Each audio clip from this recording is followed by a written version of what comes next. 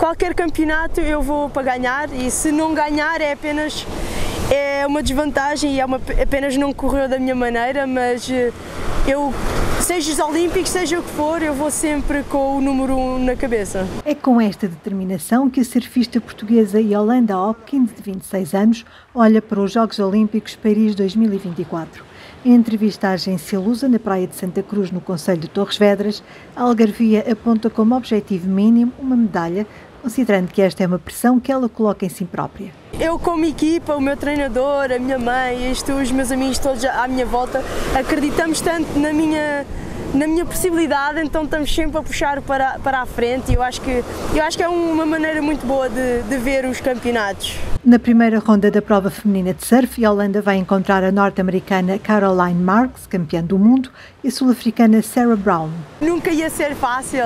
ah, e eu acho que se queremos a medalha de ouro temos que ganhar a todos, não, não interessa quem seja. A poucos dias de partir para os seus segundos Jogos Olímpicos, a quinta classificada em Tóquio 2020 diz que está mais ansiosa porque já sabe o tipo de onda que vai surfar no Tahiti. Eu antes de Tóquio não tinha noção exatamente o que é que eram os Olímpicos, porque era a primeira vez que o surf ia fazer parte dos Olímpicos, então não tinha, não tinha bem a noção como é que ia ser e agora que eu vou para, entrei no, no Paris 2024, uh, ah, já sei qual é o, a experiência e eu estou muito, estou só entusiasmada, não estou nervosa nem nada, uh, eu confio nas minhas, nas minhas um, habilidades e eu apenas quero ir mostrar. É uma onda muito intensa e é uma onda que, que mete medo, porque é, é tão intensa e é bastante rasa, tem o riff por baixo, um, não é para toda a gente, mesmo surfista, que vai para lá e tem a coragem de se atirar para, para a onda para a frente, porque quando se está a remar e está-se na parte de cima, olhar para baixo, parece que estamos a saltar de, uma, de um prédio de 20 andares.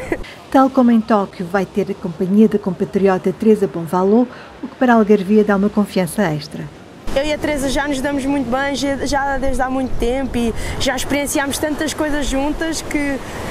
ter a possibilidade de fazer estes jogos juntas outra vez dá, acho que dá confiança e, e empurra-nos um bocadinho para fora de zona de conforto de cada uma, porque eu vou estar lá no canal a, a gritar para ela ir na onda e ela vai estar no canal a gritar para eu ir na onda. Sobre a sua grande adversária e grande candidata a vencer a medalha de ouro, Yolanda Hopkins assumiu que será a norte-americana Carissa Moore, campeã olímpica em Tóquio 2020. Sempre fui grande fã da, da Carissa Moore, uh, eu sempre gostei muito do surf dela e eu, quando estava a crescer, visualizava o surf dela como o surf que eu queria fazer e eu tive a possibilidade de competir contra ela em Peniche há dois anos atrás, no CT, e acabei por lhe vencer mas eu mesmo ainda hoje em dia acho que ela é a maior candidata, especialmente naquele tipo de ondas. Yolanda acredita que pode vir a entrar no Championship Tour, a principal divisão do surf mundial, mas lembra que ao contrário de outros desportos, os surfistas não dependem apenas de si, pois estão muito dependentes da natureza. Os Jogos Olímpicos Paris 2024 disputam-se de 26 de julho a 11 de agosto, com as provas de surf previstas de 27 a 31 de julho no Tahiti, a quase 16 mil quilómetros de distância da capital francesa.